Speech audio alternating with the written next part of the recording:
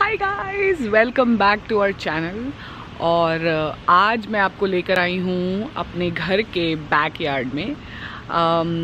सो um, so, मैं introduce कराना चाहती हूँ आपको अपने घर के इस एरिया में जो कि it's right behind my house और uh, जैसे कि मैंने आपको अपने पिछले uh, व्लॉग में बताया था कि आ, हम पहले रहते थे जिस घर में उस घर से हम यहाँ पे कुछ समय पहले ही मूव हुए हैं। और ये जो है, ये हाउस सेटअप है। पहले हम अपार्टमेंट में रहते थे, ये हाउस सेटअप है। और यहाँ पे ज़्यादातर एक्चुअली हर हाउस में फ्रंट और बैकयार्ड होता ही होता है।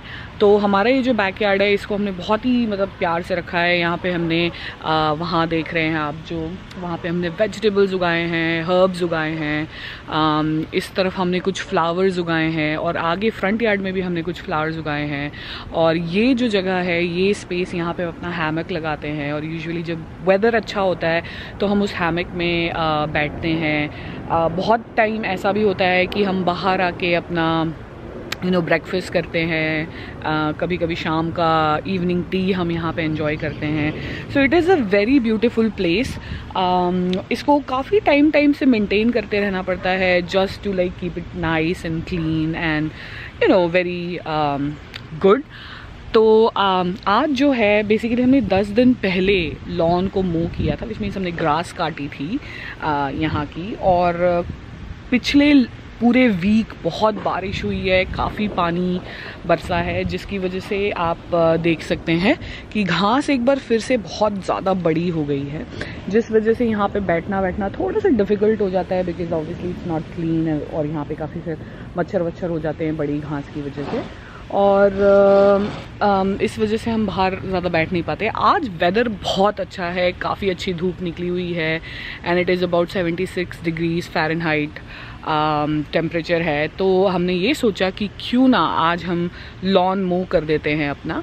और लॉन मूव करने के लिए यहाँ पे एक बहुत अच्छा तरीका है। We have an electric lawn mower which we use to move our lawn let's get going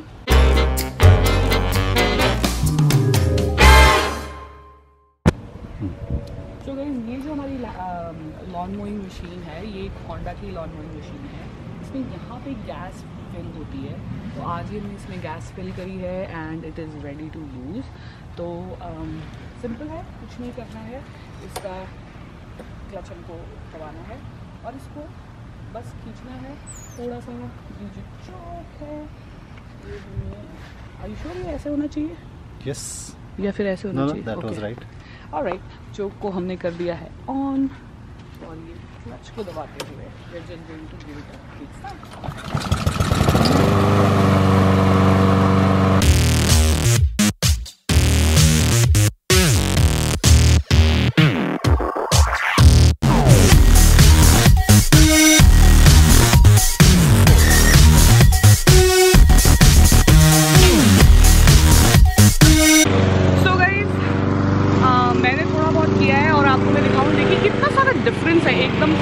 सकते हैं। कितना डिफरेंस आ जाता है। Um, और अब रूप ने ले ली है मुझसे machine he wants to do it in a better way so I am going to leave it for him to do it लेकिन uh, आप देखिए कितना कितना तुरंत से डिफरेंस है। ये बड़ा घास है ये वाला और ये देखिए जो मूव किया हुआ।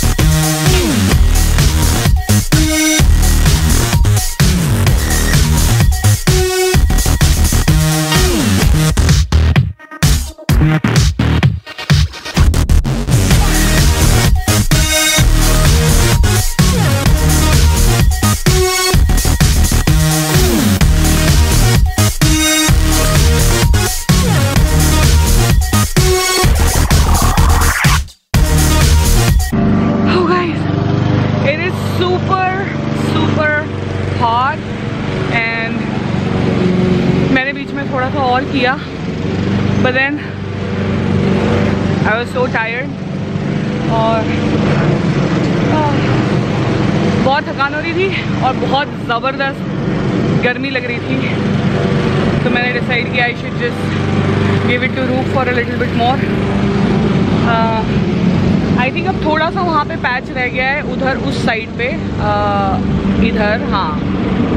तो वो एक बार हो जाएगा I think then will be good to go और थोड़ा सा एक छोटा सा पैच यहाँ पे रह गया है आ, जो कि मुझसे छूट गया था।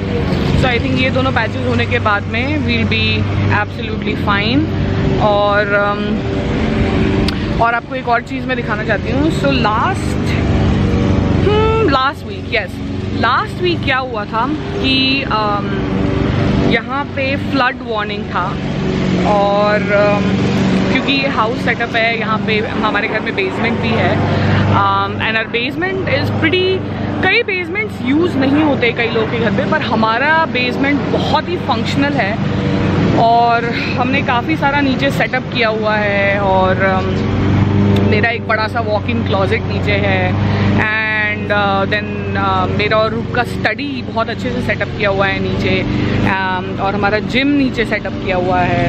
I mean of course gym में बहुत ज़्यादा मशीन्स uh, या इंस्ट्रूमेंट्स नहीं है लेकिन we still have whatever we have we have और वो सारा कुछ नीचे सेटअप किया हुआ है। और लास्ट वीक Uh, जब फ्लड वार्निंग थी तब बहुत बारिश हुई थी। लगातार यहाँ पे कुछ तीन या चार घंटे around five inches of rainfall यहाँ पे हुआ था, जिसकी वजह से हमारे बेसमेंट में जो पम्प जो वाटर पम्प होता है, जो पानी को बाहर फेंकता है, वो काम करना बंद कर दिया था और उसकी वजह से सारी फ्लडिंग हमारे बेसमेंट में हो गई थी। और बहुत सारी चीज़ें जो हमारे बेसमेंट पे ग्राउंड लेवल पे रखी थी मतलब फ्लोर को टच होती हुई या फ्लोर से क्लोज़र जो भी चीज़ें रखी थी, वो सारी चीज़ें भीग गई।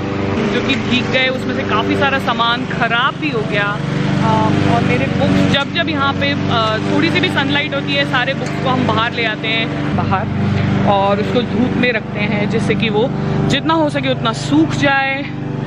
और ये हमारे दो ऑटमैन हैं जो वहाँ पे रखे थे, जिसमें काफ़ी सारा सामान था। वो सब भी गीला हो गया so we also got this out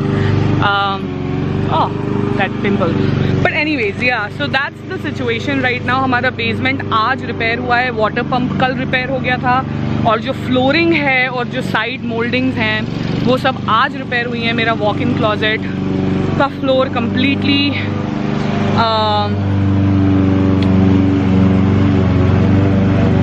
remodel हो गया है। वो सब कुछ हो गया है आज। तो आज थोड़ी राहत की सांस आ पाई है। लेकिन अभी भी काम बहुत सारा है और लिटरली मेरे और रूप की कमर में दर्द हो गया है। नीचे मतलब काम कर करके और करवा करवा के ऑब्वियसली जो लोग काम करने आ रहे हैं, वो अपना काम तो करके चले जा रहे हैं और उसके पीछे से जो जो बैकग्राउंड में जो वर्क रह जाता है, वो कुछ कम नहीं है, वो बहुत ज़्यादा है। और हम बस कॉन्स्टेंटली उस काम को निपटाने में लगे हुए हैं। Uh, मतलब ऑब्वियसली वो ठीक हो गया है लेकिन मतलब सफ़ाई इतनी नहीं हुई है। एक बार वो हो जाएगी then the basement will be ready और उसके बाद हम आपको अपने बेसमेंट से इंट्रोड्यूस करवाएँगे। फ़िलहाल ग्रुप uh, लगे हुए हैं।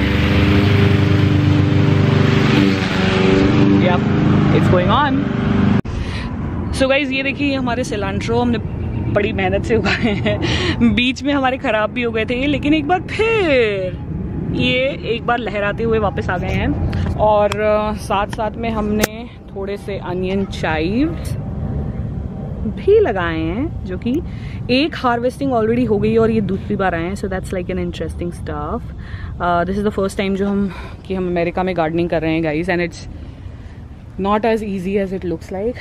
It takes a lot of time and energy. Um, but we have like a amazing gardener. तो हम काफ़ी लगे रहते हैं ये सब कुछ करते रहते हैं। वो रही हमारी ब्रोकली और उसके बाजू में एग प्लांट है और ये रहे पेपर्स और टमेटो टमेटो और एक और जगह पे भी हमने उगाए हुए हैं जो कि बहुत बड़ा हो गया है सो दैट्स उसके भी दर्शन आपको बहुत जल्दी कराएँगे लेकिन फ़िलहाल हम आगे चलते हैं। तो हमारे पीछे से आगे की तरफ़ गाइस ये पीछे था अब हम जा रहे हैं।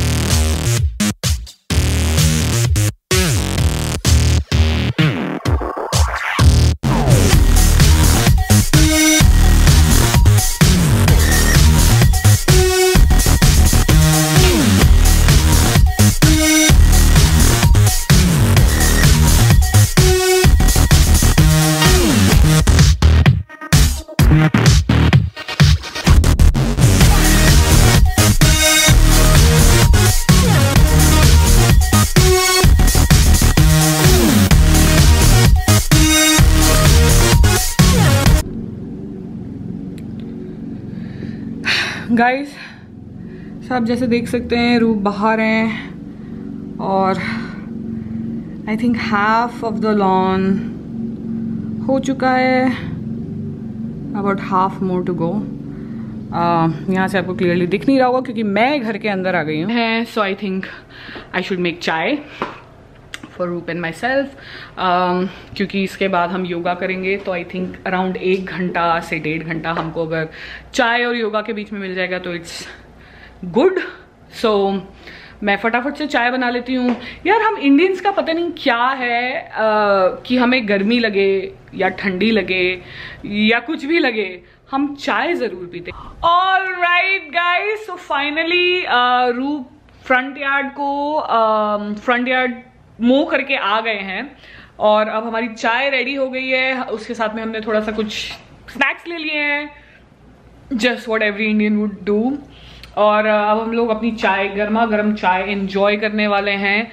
थोड़ा सा हमको लेट हो गया चाय पीने में बिकॉज़ बाहर uh, हमारे जो नेबर्स थे वो बात करने लग गए हमसे और I think we ended up talking for quite some time लेकिन नाउ वी बैक सो हम अपनी चाय गर्मा गर्म चाय एंजॉय करेंगे और um, अपनी मूवी देखेंगे इस और उसके बाद में अराउंड एक डेढ़ घंटे के बाद हम लोग योगा करेंगे। एंड um, देन um, कल छुट्टी है हमारी और हमारा प्लान है कि रात को हम कुछ मे बी थ्रिलर या हॉरर मूवी या शो देखेंगे.